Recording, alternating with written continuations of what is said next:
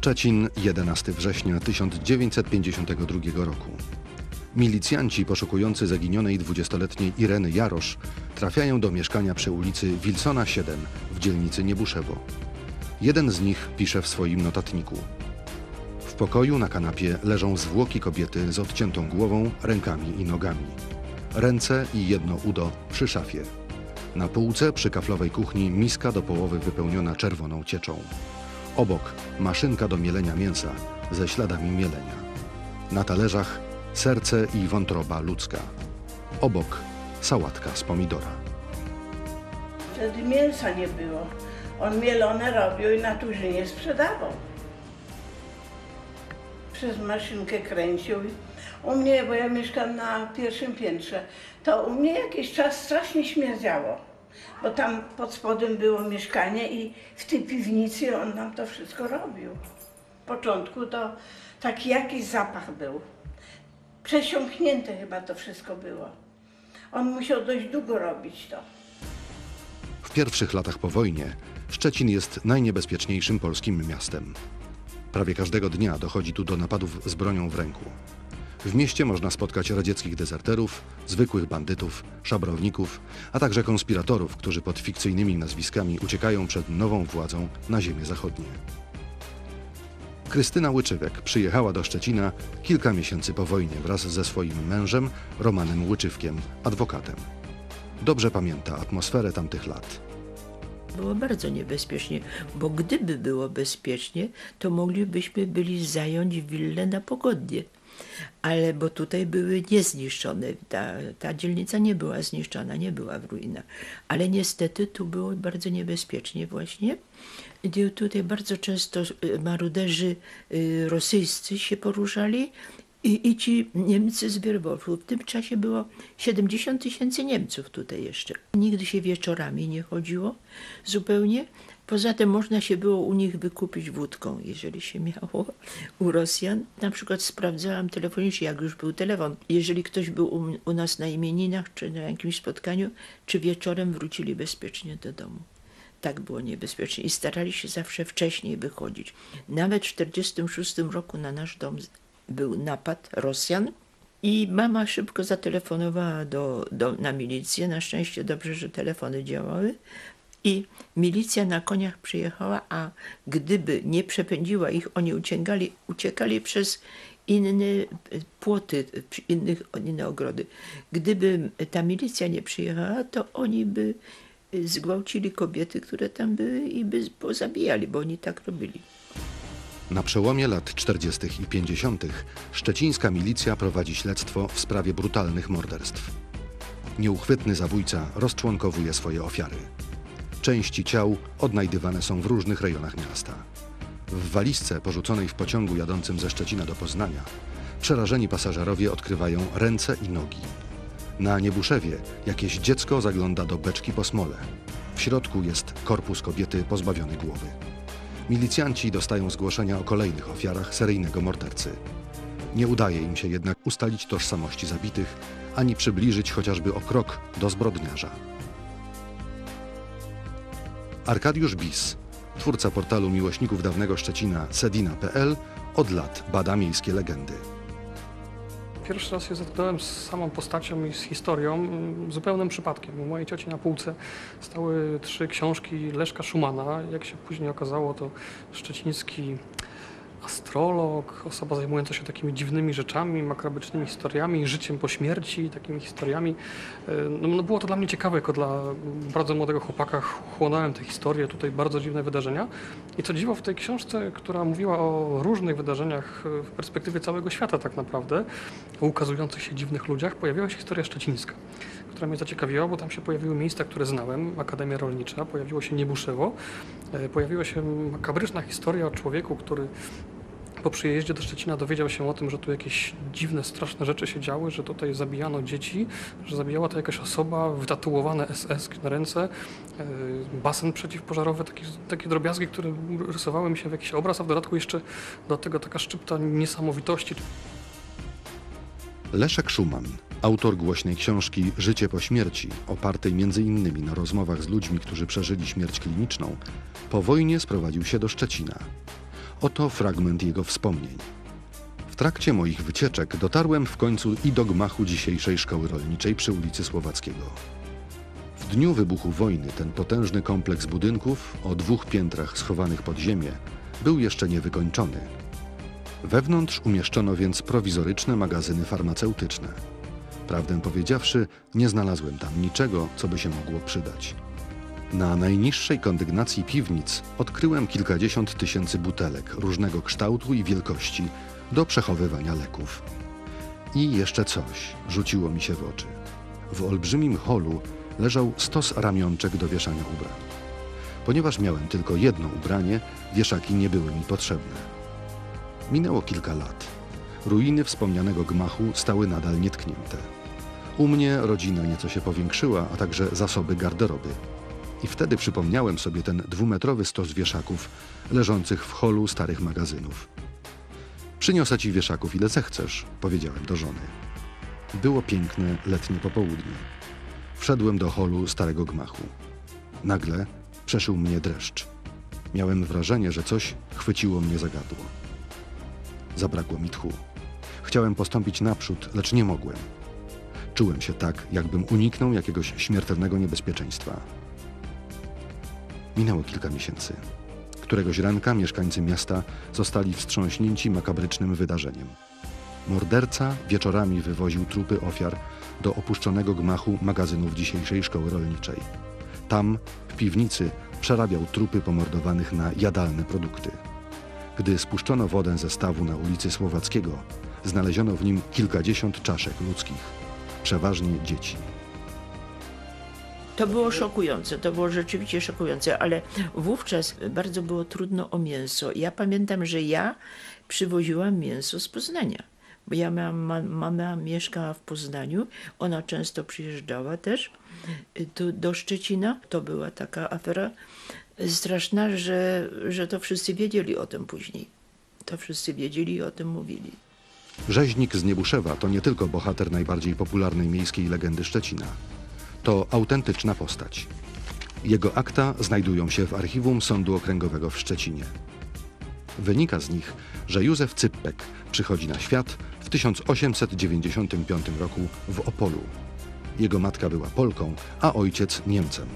Józef mówi po polsku i po niemiecku, ale uważa się za Niemca. Po szkole podstawowej zdobywa fach ślusarza. Cypek ma tylko 158 cm wzrostu, ale jest przysadzisty i ma wielkie dłonie.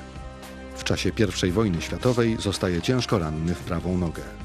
Lekarze amputują mu ją na wysokości kolana. Odznaczony dwoma medalami, w trakcie leczenia zapisuje się do partii komunistycznej.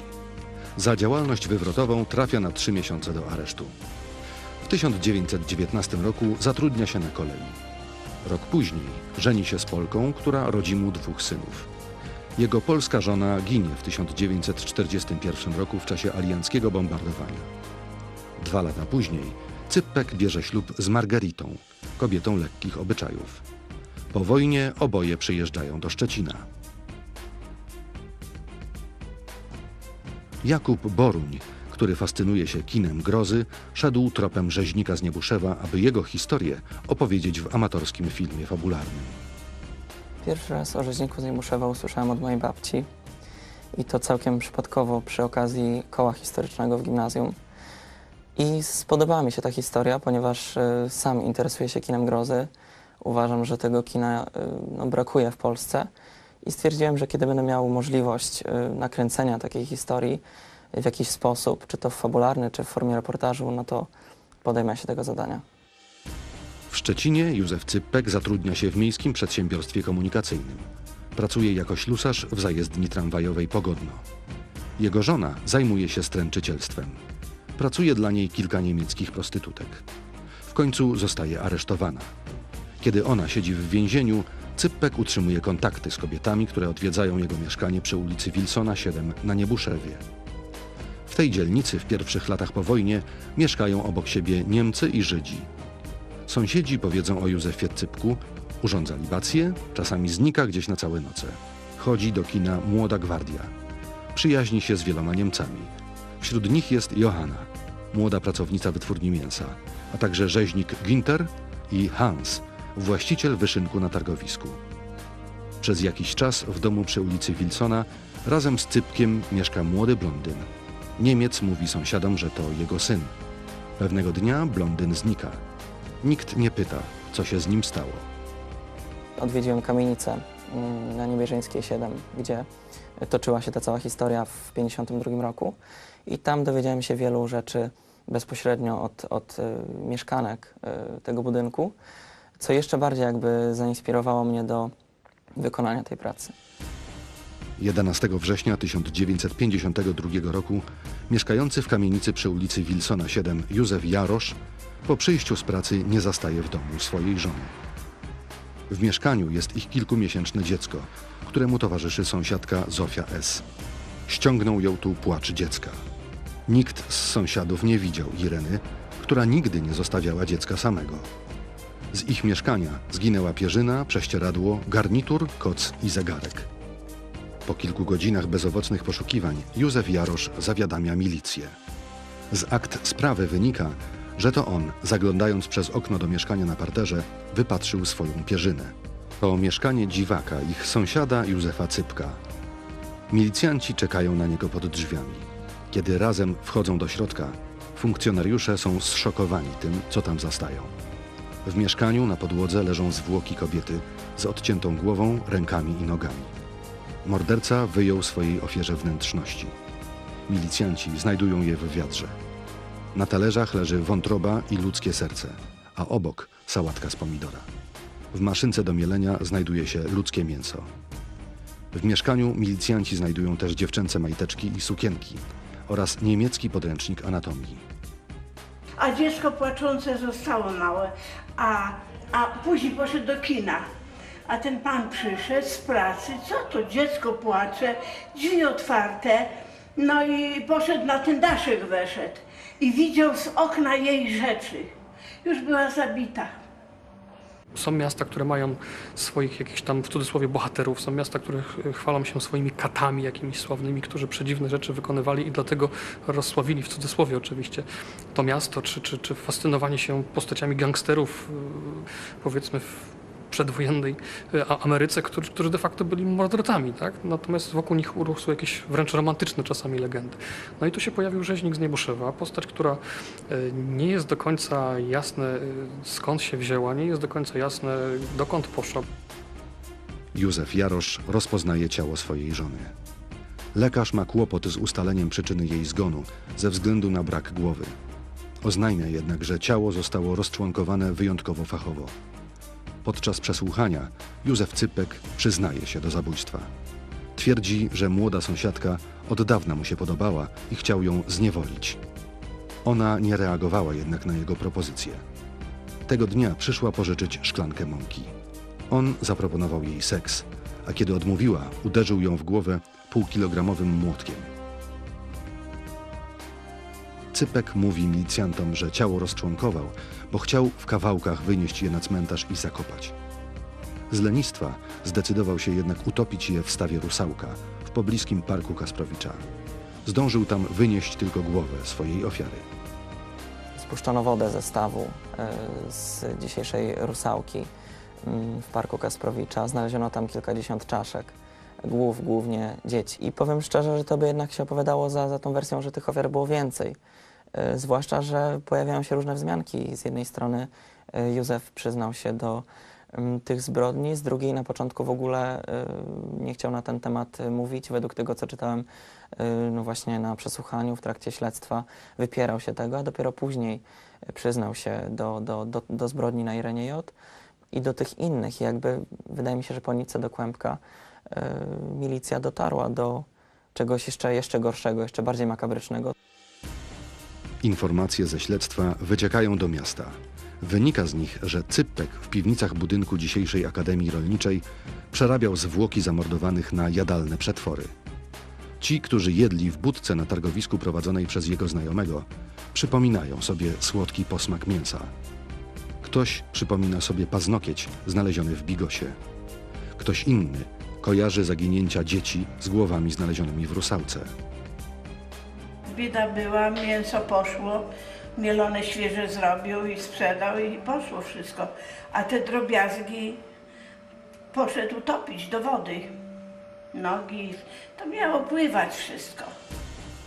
13 września 1952 roku, czyli dwa dni po aresztowaniu Józefa Cypka, do szczecińskiego sądu trafia akt oskarżenia.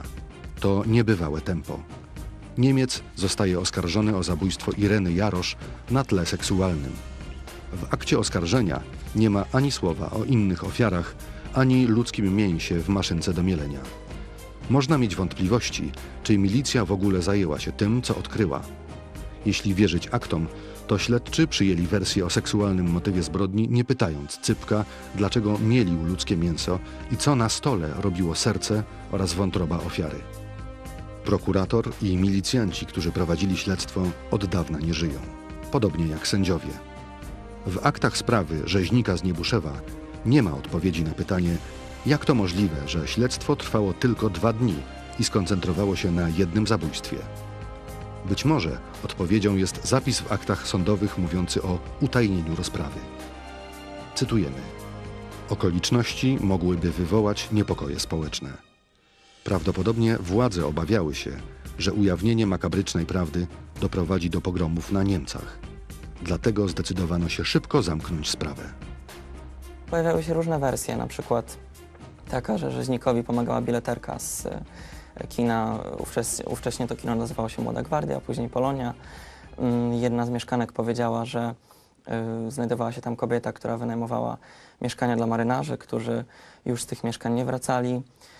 Jeszcze inna, no to dosyć y, dziwna sytuacja, przynajmniej budząca grozę dla mnie, to już po premierze filmu, kiedy jedna z starszych osób, y, zupełnie mi nieznajomych, podeszła do mnie i powiedziała, że jej koleżanka miała dostarczyć list y, do rzeźnika, miała dostarczyć jakąś przesyłkę, ale tego nie zrobiła, za- zapomniała o tym liście, włożyła go do płaszcza i kiedy cała sprawa wyszła na jaw, y, znalazła ten list później z tym adresem, pod którym mieszkał y, rzeźnik, więc też jakby zupełnie inne źródło naganiania tych ofiar. I tych wersji było naprawdę bardzo dużo, łącznie z naganianiem dzieci, którym brakowało tam kilkudziesięciu groszy do biletu, które po prostu bileterka wysyłała do Józefa Cypka i które oczywiście stamtąd nie wracały. Proces Józefa Cypka rozpoczyna się i kończy 17 września 1952 roku, czyli sześć dni po zabójstwie. Morderca zostaje skazany na karę śmierci, o czym szczecinianie dowiadują się dwa dni później z lakonicznej notatki w kurierze szczecińskim. W więzieniu ślusarz pisze list do prezydenta Bolesława Bieruta. Ten jednak nie korzysta z prawa łaski. Józef Cypek zostaje powieszony w listopadzie 1952 roku, niespełna dwa miesiące po zamordowaniu swojej sąsiadki. Informacje na temat grobu Józefa Cypka odnaleźliśmy w archiwum szczecińskiego cmentarza centralnego. Na bezimiennej dziś mogile ktoś od lat stawia znicze. Trudno zweryfikować, czy były jakieś inne y, ofiary y, tej osoby. Y, można tylko domniemywać, że tak, no, skala tej zbrodni, porażającej przecież, fachowość dokonanych cięć przy rozczłonkowywaniu ofiary, wreszcie odnalezione ubrania w, y, kobiece, dziecięce w mieszkaniu y, oskarżonego mogą y, prowadzić na ślad innych ofiar Cypka. Dawna ulica Wilsona to dzisiaj Niemierzyńska. W kamienicy pod numerem 7 wszyscy znają historię rzeźnika z rodzinnych przekazów. Moja mama opowiadała, że tak w latach właśnie 50. na y, Turzynie kupi- kupiła mięso mielone. No i, i to było ludz, y, mięso ludzkie. No i z tego co wiem jeszcze, że, że miał pod, pod pachą tatuaż esesmański, nie? Błyskawica, jak to się mówi, nie? Tam. Tak byli tatuowani, byli esesmani, nie? No i właśnie w tej piwnicy tam on miał zapadnię taką do tej piwnicy. Sąsiadka, która mieszka nad moją piwnicą, to właśnie on tam mieszkał w tym mieszkaniu. Po prostu taki głaz był i on tutaj wrzucał tych ludzi, bo to jest ta piwnica stara. Bo w tych czasach były ciężkie chwile, nie? Także, że, że miał z tego korzyści materialne. Ale w każdym bądź razie mówią, że puchło te mięsa i nie wiedzieli od czego, nie? Ale to był kryzys, no wiadomo, po wojnie o mięso to każdy by się zabił, więc kupywali, bo najtaniej i świeżutkie, codziennie były świeże dostawy. Przez wiele lat nikt nie chciał wprowadzić się do jego mieszkania. Jego część przyłączono w końcu do innego mieszkania, a w pomieszczeniu, gdzie ćwiartował swoje ofiary, zrobiono toalety. Do dziś służą mieszkańcom tej stuletniej kamienicy.